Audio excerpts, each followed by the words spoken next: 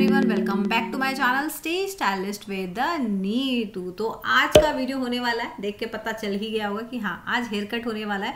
और आज मैं फिर से यूसी को बुलाया है मैंने हेयर कट करने के लिए।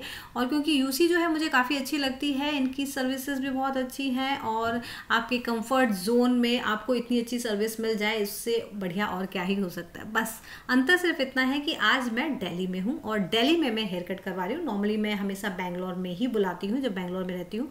लेकिन मुझे हम्म। इनकी सर्विसेज़ इतनी ज़्यादा अच्छी लगती हैं कि चाहे मैं दिल्ली में हूँ कानपुर में हूँ या बैंगलोर में हूँ मैं बुलाती यूसी से ही हूँ। आपके कंफर्ट जोन में इतनी अच्छा जो आपको हेयर कट देते हैं और क्या चाहिए। तो आज मैं करवाने वाली हूँ लेज़र हेयर कट और क्योंकि बाल काफ़ी लंबे हो गए तो इतने लंबे बाल मुझसे संभलते नहीं हैं। मैं सोचा कि थोड़ा सा जो है अपने बाल कटवा लेती हूँ तो यहाँ पे देखो थोड़े के नाम पे इन्होंने काटा है इतनी लंबी मेरे बालों की लेंथ लेकिन हाँ क्योंकि कलर जो है मैं यूज़ करती हूँ तो जो नीचे के बाल है ना, वो बहुत ही रफ हो गए थे तो उनको ट्रिम करना भी ज़रूरी था। और सेकंड मेरा ये भी था, क्योंकि अभी मैं एक फ़ंक्शन के लिए गई हूँ दिल्ली में तो मैंने सोचा हेयर कट करवा लेती हूँ और सेट भी करवा लूँगी। तो मेरा हेयर कट भी हो जाएगा और मेरे बाल सेट रहेंगे तो मेरा फ़ंक्शन जो है पूरा अच्छे से निपट जाएगा। तो जो फ़ंक्शन में मैं जिस तरीके से, जो मैंने इस हेयर स्टाइल को जो है पेयर किया है किस किस ड्रेस के साथ, वो मैं आपको एंड में दिखाऊँगी। तो एंड तक वीडियो देखिएगा ज़रूर, ताकि आपको समझ में आ जाए। और आज मैं पूरा हेयर कट आपको दिखाने वाली हूँ कि किस तरीके से हेयर कट करते हैं। बहुत ही सिंपल हेयर कट है, लेकिन बहुत ही अच्छा हेयर कट है। अगर कोई हेयर कट सीख रहा है तो उसके लिए तो एकदम बेस्ट होने वाला है आज का वीडियो बिकॉज़ बहुत ही ईजी स्टेप है तो मैं पूरा वीडियो आज आपको दिखाने वाली हूँ।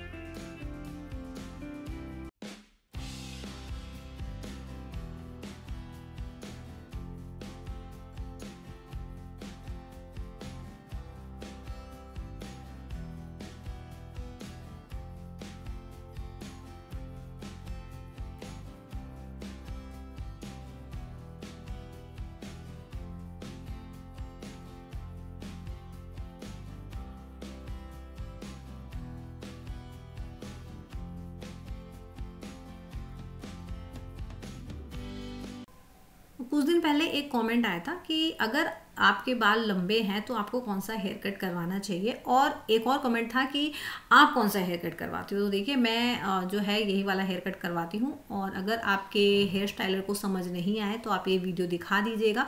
बहुत ही ईजी हेयर कट है, बहुत ही अच्छा लगता है क्योंकि इसमें आगे से लेयर्स हैं, पीछे से स्टेप है।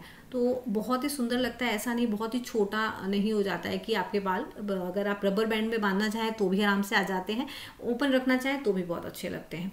एक और कमेंट आया था मेरे पास कि जब आप हेयर वॉश कर लेते हो मतलब जैसे अभी ये मेरा हेयर स्टाइल हो रहा है उसके बाद मेरे जब हेयर वॉश होगा तो आ, मतलब किस तरीके का जो है आ, बाल रहते हैं?